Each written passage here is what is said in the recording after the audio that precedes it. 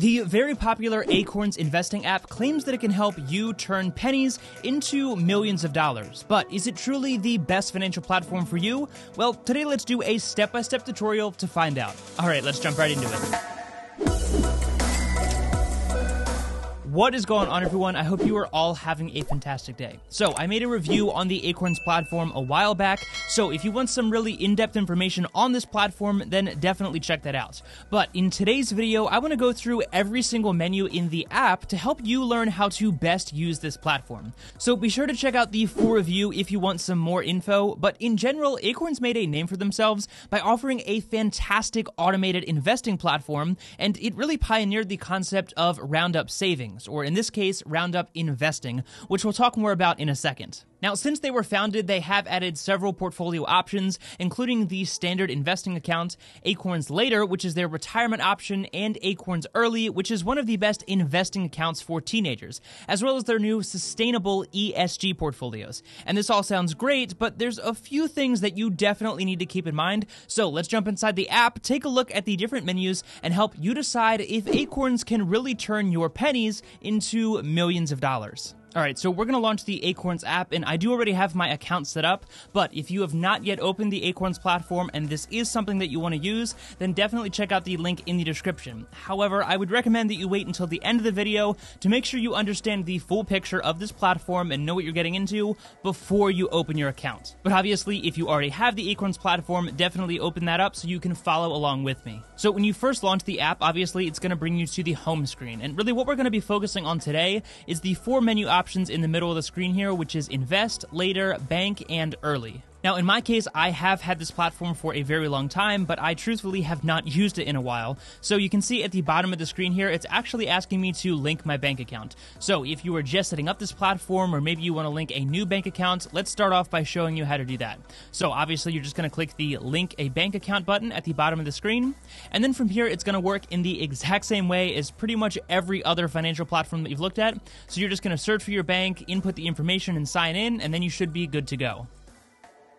And there you go, it was just that easy. You can see that they use the Plaid system, and we have now linked my SoFi account and are ready to get started with investing. So in this case, this is going to be my primary checking account. So if we go back out to the main screen, the first thing I want to show you is all the way in the top right hand corner, and this is actually going to be your potential returns should you decide to use this investing platform. And once you set up your recurring investments or your roundup investments, which again we'll talk about in a second, then in here it's actually going to give you the hypothetical example of what your portfolio could be worth at a certain age. So right now I don't have any investments set up. So it's saying that even by the age of 60, I'd only have about $53,000 in here, which I don't know about you, but that's not quite enough to retire on. So if you actually hit the recurring button and you swipe to the right, you can actually see that it's basically giving the hypothetical example of what this would be worth should I invest that amount. So you can scroll all the way over, and let's say we wanted to invest $100 weekly, hypothetically. Well, then, based on investing $100 weekly, it's saying that by the age of 60, my portfolio would be worth about $780,000. But again, the point of this platform is really just to invest a few bucks per day, so you can scroll all the way down, and let's say we just invested maybe $10 per day. Well, even then, my portfolio would still be worth $126,000, which again is not a whole lot of money, but still a good way of seeing the hypothetical example and what your investment really can add up to over a long period of time. So definitely play around with the recurring investments to see what that could hypothetically be worth. But now let's click on the Roundup menu, and this is where you can set up your Roundup investing. And you may have heard me talk about Roundup saving before or Roundup investing in other videos. And basically, this just means that they're going to round up your purchases to the nearest whole dollar, and in this case, automatically invest that change for you. So with the way that we currently have it set up, it's going to round up to the nearest whole dollar, but you can also set this to the nearest 50 cents, 25 cents, 75, whatever you want to do. And you can also set multipliers at the top of the screen, which we'll get into a second. But essentially, with the way we have this set up right now to the nearest whole dollar, if I went and spent $3.70 on coffee, then Acorns would round up that purchase to $4 and automatically invest that extra 30 cents in my Acorns portfolio. And that's really where the whole brand of Acorns came from, meaning that your little investments can really add up over time. And while that was really unique when the Acorns platform was first launched, if I'm being completely be honest, it really is nothing special anymore because a lot of platforms offer something like this. But there are a few things that I really love about this. The first one being the multipliers. So if we click the add a multiplier switch, you can actually 2x, 3x, or 10x those multipliers. So using our example from earlier, if I spent 370, they would round it up to $4. That means that they are investing an extra 30 cents. But with the 10x multiplier on, that means that they're actually going to invest $3 on my behalf. Now, a 10x multiplier is a little bit extreme, but I love the fact that they give that to you. But just keep in mind that if you bought something for $5 and one penny, well, they would round that up to $6, take that extra 99 cents, multiply it by 10, and invest that, which would be $9.90. So that is a little bit extreme, but just something to keep in mind. One other thing that I love about Acorns in particular is you don't have to use the Acorns debit card, which is nice if you don't have Acorns spend, but you can actually link third party cards like I just showed you or third party accounts, and then they will automatically round up purchases on those cards and invest that for you as well. So to do that, you would just click the one linked card button and you can see the account that we just linked earlier in the video, but obviously you can go through the exact same process that I just showed you and link those third party cards if you want those to round up your purchases and invest the difference. But going back to that previous menu, let's just say we want to set this to round up to the whole dollar and multiply by two, and then we have to click save at the bottom of the screen. And there we go, it's now going to round up all of those purchases to the nearest whole dollar, multiply by two, and invest that automatically for us. Alright, but enough about all of that, let's go back to the home screen and get started with investing. So we're just going to focus on the invest in your future option, but this process is exactly the same for Acorns Later and Acorns Early. So if we click on the invest for your future option, we've got three options at the top of the screen, which are roundups, one time investments, and withdrawal funds. So the roundups menu is what we just talked about, and this is going to show you all of the roundups that have occurred and been invested in your Acorns account. So if you linked multiple cards and those were rounding up your purchases, then all of those transactions would show up right here. But if we go back out, the next menu is the one time deposit, and this is where you can just transfer money from your third party bank account into your Acorns account if you don't want to just be investing your roundup change. And if you're going to use the Acorns platform, I definitely recommend at least making some kind of deposit. So this is pretty self explanatory, but obviously you're going to tell it where you want to pull this money from. So in this case, we're going to pull it from my SoFi money account. We're going to tell it how much. So let's say we want to invest $5,000. We're then going to click review. And then we just have to confirm all the information. So again, we're investing $5,000 one time and we're pulling that from my SoFi money account. And now we're just going to click invest $5,000 at the bottom of the screen. And there we go. We are now moving $5,000 into our Acorns automated portfolio. Obviously, that's going to take a few days to come in here, but the next menu option is the withdrawal menu. And in this case, because I have this reset to basically a brand new portfolio, we don't have any money to withdraw. But again, this is pretty self explanatory. This is where you would go ahead and withdraw money from your Acorns portfolio if you wanted to for whatever reason. All right, but going back out, the next menu option is perhaps the most important, and this is actually the portfolio menu, where you are going to decide where Acorns is actually investing your money. Now, I'm hesitant to say that because you don't actually get to specifically tell them where to invest your money, but that's not really the point with this platform. But what you are going to decide on is which portfolio you would like to invest your money in. So if we click on the portfolio button, we've got a ton of different options with the Acorns platform. And really, it all has to do with how much risk you are willing to take on. So at the bottom of the screen here, we have the risk button, and you can see that right now my portfolio is the moderately aggressive portfolio option.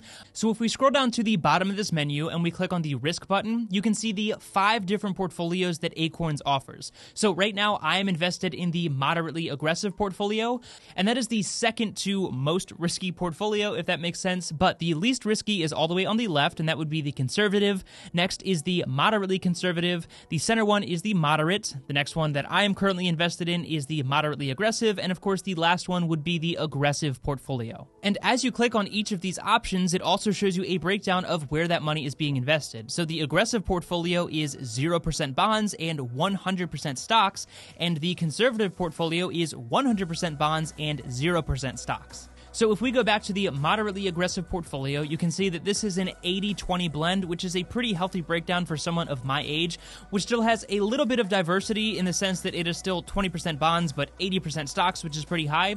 But at the bottom of the screen, you can also see where specifically they are investing your money. So 47% of that is in large company stocks, and if we click on that and scroll down, you can actually see exactly where that money is being invested. So a few of the companies in here are Apple, Amazon, Microsoft, Google, Tesla, and a ton of others. So it is nice that they do actually show you exactly where that money is being invested. You can also see some detailed information on that particular asset class, including the year to date return, the opening price, and all of that good stuff. And you can also look at the graph on the one day, one week, one month, six months, and one year chart as well. But if we go back out, let's say we want to click on the US aggregate bonds. Well, again, you've got the same information. Year to date, this is down about 3%. And if we scroll down, you can see these specific places again where that asset class is being invested in. So if we go back out to the previous menu, in this case, I'm going to stay with the moderately aggressive portfolio, but if you wanted to change this, you simply select your option at the top of the screen, and you would click the change to this portfolio, which is the green button at the bottom of the screen here. But again, going back out to the previous menu, if you scroll all the way down to the bottom of the screen, there's two more menus that I want to show you. The first one being the themes menu, and this is actually where the new ESG portfolios come into play. So in this case, we currently have the core portfolio, which is the feature that Acorns has had for a very long long time, but they now have the new ESG portfolios, which is similar to the socially responsible portfolios that Wealthfront and other automated investing platforms offer. And basically, this is just a way to ensure that your investments align with your personal ethical and moral values. So you can see under the ESG portfolios that it says invest in ETF portfolios rated for how they approach environmental, social, and governance issues. And that's where the ESG comes from. So we'll stick with the core portfolio for now, but if we go back, the Last menu is the investor profile. And this is simply where you're going to put in your basic financial information, including your current employment status, your annual income, and all of that good stuff. And of course, how risk adverse you feel you are. And that's going to help Acorn suggest a portfolio to you. But obviously, as we just looked at, you can pick whatever portfolio you want. And back out on the main investing screen here, the very last menu I want to show you is the recurring investments. And again, this is pretty self explanatory, but if we click on that, let's say we wanted to invest $50 and we wanted to invest that once a week on Wednesdays. So we'd click update, click turn on, and there we go. It is now automatically going to invest $50 for us every single Wednesday. Again, nothing too groundbreaking there, but a nice way to make sure that you are automatically investing if you want to be doing that. Scrolling down, you can get some more information on the ESG portfolios, view your recent activity, see the performance of your portfolio, which in this case, there's nothing because I have this account pretty much reset, and you can see some other info on your accounts and learn more about the Acorns offerings at the very bottom of the screen. So I know we just specifically focused on the investing menu, but if you go go all the way back out to the home screen,